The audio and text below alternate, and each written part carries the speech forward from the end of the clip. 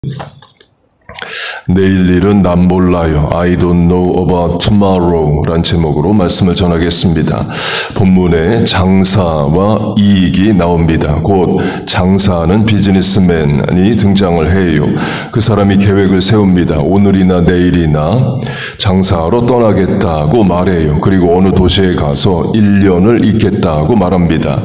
그리고 결과까지 본인이 계획을 합니다. 이익을 보리라.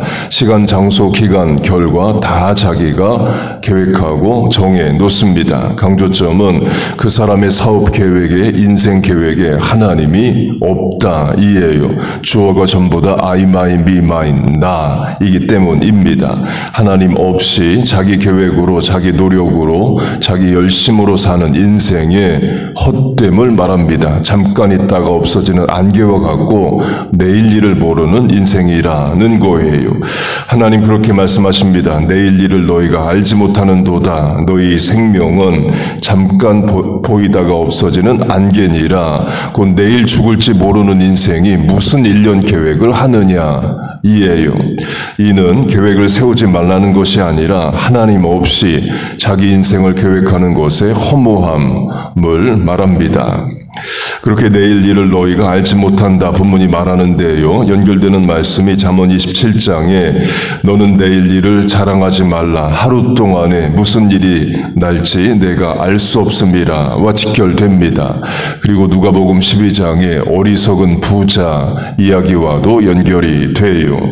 누가복음 12장을 보면 한 부자가로 부자가 등장합니다. 하나님은 그 사람을 어리석은 자라고 부르셔요. 세상은 그 사람을 부자로 부르지만 하나님은 그를 부자로 부르지 않으십니다. 어리석은 자로 부르십니다. 그래서 그 단락의 제목이 어리석은 부자입니다. 이 한글 성경에는 단락 제목을 어리석은 부자로 붙였지만 영어 성경은 반대로 합니다. 부요한 바보, a rich fool로 번역을 해요. 영어 표현이 더 분명합니다. 부요하지만 어리석다는 겁니다. 세상은 그를 부자로 부르지만 하나님은 그를 어리석은 자로 부르시기 때문입니다. 결국 중요한 것은 세상이 나를 어떻게 보느냐가 아니라 하나님이 나를 어떻게 판단하시느냐입니다. 하나님 앞에 옳다 인정함을 받아야 됩니다. 오늘 미국 대통령으로부터 시의원까지 이제 많은 공직자들을 뽑습니다. 대통령으로 하면 미국 대통령, 세계 대통령이죠. 세계 최고 권세자라고 할 수 있습니다.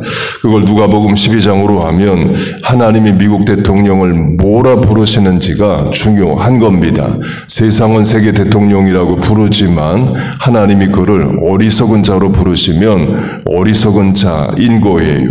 반면에 10살 어린이여도 하나님 믿고 의지하고 기도하고 살아가면 하나님이 그를 옳다, 지혜롭다 여기시는 겁니다. 저와 여러분 우리 자녀들 하나님 앞에 옳게 의롭게 인정받기를 축복합니다. 이렇게 누가복음 12장에 부유하지만 어리석은 자가 나옵니다. 그 부자 본문과 같습니다. 자기 인생 계획, 사업 계획 자기가 다 세웁니다. 내 곳간을 헐고 더 크게 짓고 내 모든 곡식과 물건을 거기 쌓아두리라. 또 내가 내 영혼에게 이르되 영혼아 여로에 쓸 물건을 쌓아 두었으니 평안히 쉬고 먹고 마시고 즐거워하리라. 이 본문의 사업가는 1년 계획을 세운다면 12장에 누가복음 12장의 부자는 여러 해, 몇 년 계획을 세웁니다. 역시 하나님 없는 인생 계획을 말해요. 내가 나를 나의 I my me mine 주어는 전부 나 자신입니다. 거기에 대해서 하나님은 본문처럼 말씀하십니다. 어리석은 자요 오늘 밤에 내 영혼을 도로 찾으리니 그러면 내 준비한 것이 누구의 것이 되겠느냐? 본문으로 하면 내일 일을 너희가 알지 못한다. 잠언 말씀으로 하면 하루 동안의 일어날 일도 너희는 알지 못한다. 이에요. 그렇게 누가복음 12장에 부자 이야기가 나오고 하나님은 그 부자에게 오늘 밤에 죽는다 하십니다. 그럼 이런 질문을 가질 수 있죠. 그 부자 죽어서 어떻게 됐을까? 천국에 갔을까? 지옥에 갔을까? 4장 뒤인 누가복음 16장에 부자 이야기가 또 나옵니다. 한 부자가로 시작 장면이 같아요. 16장에서 부자는 죽어 지옥에 가죠. 그렇게 사람은 하루 동안에 무슨 일이 일어날지 모르고 내일 일도 모릅니다. 본문으로 하면 해 뜨면 사라지는 안개와 같은 인생이에요. 그러니 어떻게 살라는 말이냐? 영원하신 하나님을 믿고 의지하고 살라 이에요. 내일 일을 아시고 주관하시고 사람의 생사를 판정하시는 하나님을 믿고 의지하라입니다. 그리고 하나님이 주신 오늘이란 시간을 믿음으로 충성으로 감사로 살아가는 겁니다. 오늘은 어제 죽은 사람이 그렇게 살길 바랬던 내일입니다. 오늘이란 하루를 우리가 불평하고 원망하고 속상해하며 살아도 하루 지나갑니다. 반대로 어려움도 많지만 감사하며 살아도 하루를 살아가요. 어떻게 사는 것을 하나님이 원하실지 분명합니다. 부모 자녀로 하면 자녀가 늘 원망하고 하루 종일 속상해하고 불평 불만만 하며 삽니다. 반대로 다른 자녀는 어려움 가운데서도 감사하고 기쁨을 찾아 찾아가며 살려고 노력을 해요. 부모가 볼 때 어느 자녀의 인생이 올바르겠어요. 11월 감사의 달을 맞았습니다. 감사는 밭에 감추인 보화와 같습니다. 찾아야 찾아집니다. 곧 분명히 있는데 당장 내 눈앞에 안 드러나는 것들이 많아요. 찾아서 감사하는 오늘을 믿음으로 사는 우리들 되시길 축복합니다. 그렇게 사람은 내일 일을 모른다 말씀합니다. 확대 적용하면 하나님은 내일 일을 아신다는 거죠. 그러면 내가 내 내일 일을 모른다는 것이 불안과 두려움이 될 수도 있지만 나는 모르지만 하나님은 내일 일을 아시는 것은 우리의 소망과 믿음이 될 수 있어요.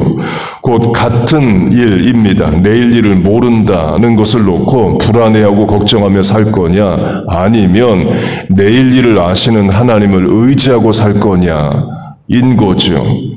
루시 모드 몽고메리 라는 캐나다 여자 작가의 Anne of Green 빨간 머리 앤이란 소설에 나오는 이야기입니다.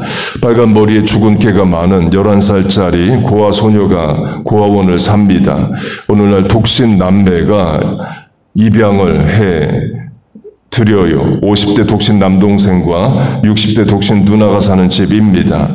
문제는 이 독신 남매가 남자아이를 원했습니다. 그런데 고아원 행정착오로 여자아이가 입양이 됩니다. 농장을 운영하는데 노동력이 필요해서 남자아이를 원했던 거예요. 지금도 마찬가지입니다. 19년 전 2006년에 우리 선교학교를 할 때에 입양아 선교하는 목사님을 모시고 일일 특강을 했었습니다. 그 목사님이 이런 이야기를 했습니다. 미국 남부의 농장들에서 지금도 입양을 하는데 목적이 농장에 목장에 일을 시키기 위해서래요. 물론 학교 안 보내고 일만 시키는 건 아닙니다. 학교 다 보내지만 고등학교까지만 보내고 대학 공부 안 시키고 제 아버지 입양된 아버지 농장 목장에서 같이 일을 한다는 겁니다. 그렇게 독신 남매가 10대 남자아이를 입양해서 농장 일을 시키려고 했는데 고아원에서 여자아이를 보내서 이제 어쩔 수 없이 여자아이가 입양이 됐어요. 일도 못하는 게 왔다고 온갖 구박을 받으면서 살아갑니다. 그러면 주변 마을 사람들도 알죠. 입양된 아이가 사랑을 못 받는구나를 압니다. 그럼 동네 사람도 그 아이 무시합니다. 어느 날 이웃집 엘리자란 아이가 그 빨간 머리 애에게 이렇게 말합니다. My world is not going the way I think. 인생은 생각하는 대로 되지 않아. 그 말은 사는 게 어렵다는 거죠. 너 고아원에서 왔으니 잘 알지 않느냐는 겁니다. 남자아이를 원하는 집에 여자아이로 입양돼서 구박받으며 살아가는 너의 인생 생각대로 안 된다. 어렵지? 이런 말과 같아요. 사람이 악해요. 그러니까 애들도 악합니다. 어렵게 사는 자기 친구를 낭망하라고 인생은 뜻대로 되지 않아. 이런 말을 합니다. 절망하라는 말인 거죠. 그런데 빨간 머리 앤이 이렇게 말합니다. It is incredible that I can't think what is going to happen because what I didn't expect is happening. 생각대로 되지 않는다는 것은 참 놀라운 말이야. 내가 생각하지 못한 일이 일어날 거니까. 고아원에서 자라고 입양돼서 또 구박받고 자라는 소녀가 소망의 말을 할 줄 아는 거죠. 절망하라고 던진 그 무례한 말을 무례하지 않게 유쾌하게 역전반전 시킵니다. 그러니까 이런 게 똑똑한 거죠. 내일 일을 모른다고 하면 내일 일을 모르기 때문에 불안하고 두려운 게 아니라 내일 일을 다는 모르지만 하나님이 아시기 때문에 기대할 수 있고 소망할 수 있다. 말하고 의지하는 것과 같습니다. 나는 내일 일을 모르지만 하나님은 아시기에 나는 믿음으로 살 수 있다는 거예요. 곧 내일 일을 모르는 연약한 인생이기 때문에 내일 일을 아시는 하나님을 더 의지하게 된다. 입니다. 그 하나님이 우리 아버지가 되십니다. 그 하나님이 우리의 오늘도 자녀의 내일도 붙잡아 인도하십니다. 여러분 믿습니까? 그 하나님을 믿고 의지하고 오늘을 인내하고 감사하고 내일을 소망하며 살아가는 우리와 자녀들 다 되시기를 주의 이름으로 축복하고 축원합니다. 아멘. 기도하겠습니다. 하나님 아버지, 오늘을 주심을 감사합니다. 이 11월 한 달 하루하루 감사하며 감사로 넘치게 하시고 감사하는 입술에 감사할 일들을 행하여 주옵소서. 우리의 내일을 인도하시고 복을 주실 줄로 믿습니다. 내일 일을 모르기 때문에 하나님도 의지하고 기대하고 소망하게 하여 주옵소서. 오늘도 하나님 의지하러 새벽에 나왔습니다. 새벽 기도자의 삶에 기도에 하나님 은혜와 복을 내려 주옵소서 간구하는 기도에 응답하여 주옵소서 예수님의 이름으로 기도하옵나이다. 아멘.